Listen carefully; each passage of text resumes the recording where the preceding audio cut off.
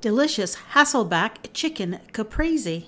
Let's see what's cooking. It's time for Yo-Yo Max 12.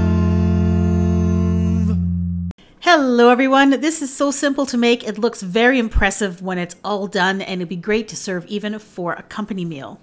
Starting off with the chicken breast half and you're going to take a sharp knife and you're going to make slits across the chicken breast and you're going to slice very deeply but not all the way through the chicken. You want to make sure it's intact on the bottom. Then you'll take a piece of basil, fresh basil, a tomato slice, and then a slice of mozzarella cheese. I'm using fresh mozzarella cheese that I made myself. And then just continue to repeat filling up each of the slits with the basil leaf, the slice of tomato, and then the cheese. The chicken will stretch, so it's going to all fit in there. You just may have to make some of the tomato slices smaller and some of the cheese slices smaller as you get towards the smaller end of the chicken breast, just so that it fits nicely. Now I made slits about every centimeter, about every half inch along the chicken breast. Now to transfer to a pan, what I did was I used the knife I used to cut the chicken with, slid it underneath, and then just transferred it that way into my baking dish.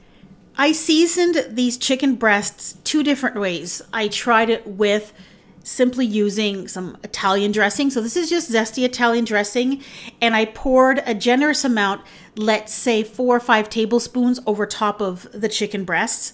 And then I sprinkled it with a little bit of freshly ground pepper. Now, if you've ever had a caprese salad, you'll know that it is tomato, basil, fresh mozzarella, and balsamic vinegar or a balsamic reduction. So what I did for some of them is I poured on about a tablespoon or so of balsamic reduction on top before I bake them. Then I put them in the oven at 400 degrees Fahrenheit for about 30 minutes until when I stuck a thermometer into it, it read 165 degrees Fahrenheit. And there it is. As you can see, um, homemade fresh mozzarella, although it does melt, it doesn't kind of melt completely and ooze all over the place. It actually stays inside the chicken very, very nicely. So that worked out very well. This was absolutely delicious.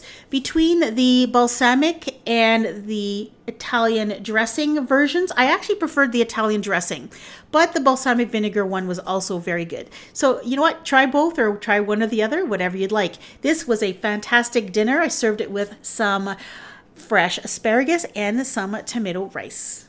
Now, I will be posting a video on how to make your own mozzarella cheese at home. It is really easy. This video will be posted on July 8th, 2017. If you're watching after that date, go ahead and click right on your screen because the video will be there for you. And if you're not, then you'll have to wait until tomorrow. Thanks for watching.